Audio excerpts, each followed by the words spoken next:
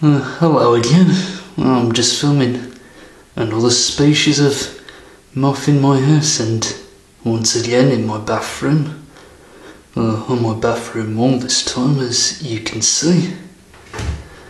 Uh, and this time it's a, a garden carpet moth there. And this is a, another common species of moth that's found throughout much of Britain. Mm-hmm. And and this is uh, another nocturnal species. and this time I am filming this moth at night. Mm-hmm. Unlike the other video which I previously filmed earlier on.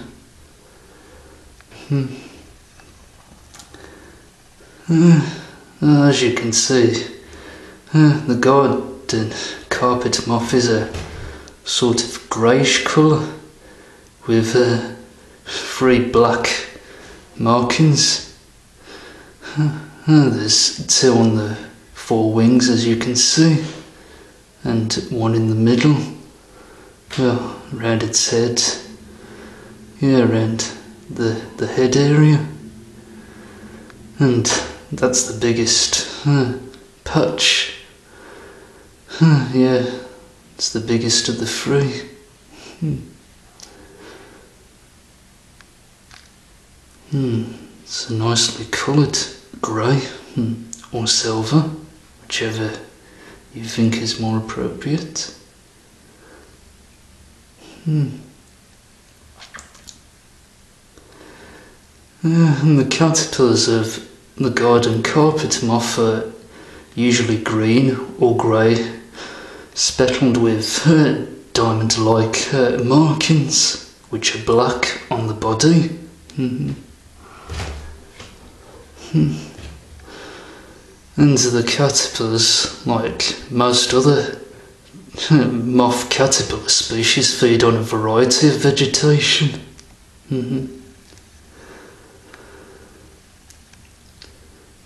Uh, and the habitat of garden carpet moths. Hmm, well, yes, is uh, can be in gardens, though these moths can be found almost anywhere, just like uh, most other moth species here in Britain.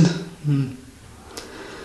And yes, they do occasionally get into your house, like most other moth species again. Mm.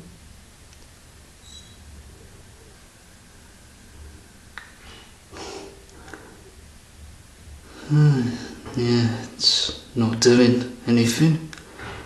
Just sitting there on my wall.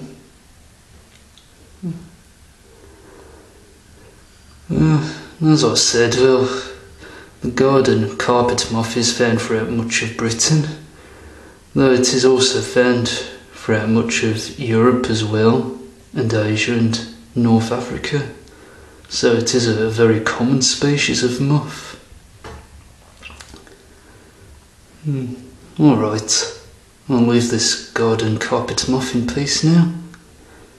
Well, thank you for joining me once again on Animal Kingdom 5000, and I'll see you next time.